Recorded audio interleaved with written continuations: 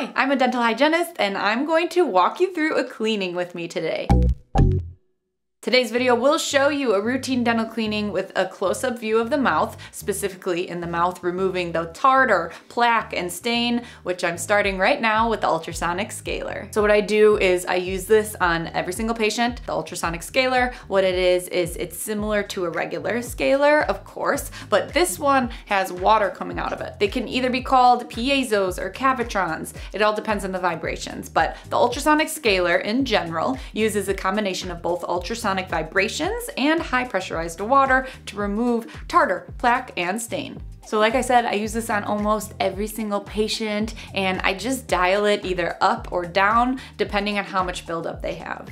I use a very low setting if it's slight buildup, and I use a very high setting if it's heavy buildup, heavy plaque and tartar, especially for SRPs, deep cleanings. So now after I'm done, now you can see I'm using the regular hand scaler. After I'm done completing all of the tooth surfaces with the ultrasonic scaler, I go back and clean all of the surfaces with the hand instruments, as you can see now. There are different hand instruments for different teeth. So specifically the ones you're going to use on the front teeth are different from the ones you use on the back teeth, right? Right? There's anterior scalers for the front and posterior scalers for the back. So that's what I do next. I go through the entire mouth again using these hand scalers, making sure to clean every surface of every single tooth properly and thoroughly. That's the name of the game, right? A thorough, proper cleaning. And you can see me kind of going around here. These are the posterior instruments for the back teeth. If you are interested, they are usually more curvy. They have more of a curve. Whereas the anterior instruments for the front teeth, there's not as many bends. They are less curvy. Just a fun fact if you ever see it on Jeopardy! Anyway, here I am using a scaler. Scalers are more pointy. They are the more pointy hand instruments. You can also use curettes as well, another type of hand instrument. I'm just not using any in this particular video, but curettes are usually not as pointy.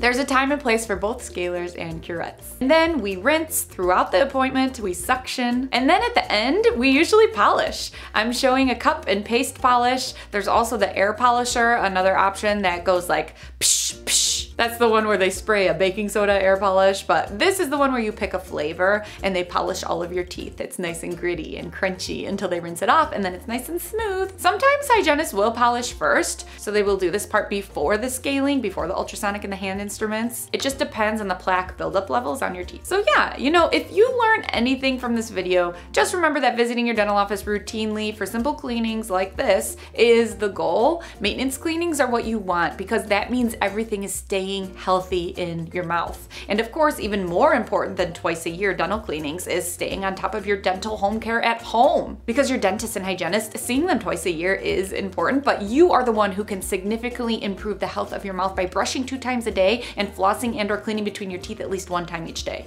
It sounds so simple, but lots of us know that staying on routine, keeping up with healthy habits can be difficult. We may be really good about it right after our dental cleanings and then we fall off. We accidentally skip a night of brushing or we totally stop flossing. So if this sounds familiar, I will link a program below. It's called Better Mouth. Let me show you really quick. This program helps hold you accountable each day so you never miss a brushing or flossing session at home. Because no one wants a toothache and no one wants dental problems. The majority of dental problems can be prevented. And just by having a solid routine and knowing what products to use at home, you can be the one who prevents them. So you only need to go to the dentist for routine checkups and cleanings, no other procedures. So be sure to check out Better Mouth to help you better better your mouth at home, which of course will lead to easier, smoother dental appointments like this one here. Back to the video, finishing up at the end of your cleaning, we will generally floss your teeth. We make sure all the prophy paste is out from your teeth and the flossing helps us actually feel the contacts between your teeth, making sure we didn't miss anything while scaling. Also sometimes even use air. We blow air on your teeth to check if we missed any spots as well. We are kinda doing an exam when we floss your teeth. And then we will also do an oral cancer screening here where we check the sides of your tongue, under your tongue, your cheeks, all over your mouth to confirm there are no suspicious lumps or bumps present. And after the hygienist cleans your teeth and does the exam, then the dentist will oftentimes come in to do an exam as well. We didn't show any x-rays or perio charting in this video, but I will link my videos below explaining more about those if you're interested. And in all, I hope you enjoyed this video. Please like, subscribe, and turn on your notifications if you did. And don't forget that you can prevent major dental issues with a better home care routine. Preventing serious dental conditions such as root canals, crowns, extractions. It is all possible with a better routine. And to create that perfect routine, make sure to visit bettermouth.com. I'll link it in the description and in the pinned comment below for you to discover all of the essentials for an effective oral hygiene routine at home. Home care plus dental care equals a happy and healthy mouth. Thank you for watching. Peace, love, and teeth.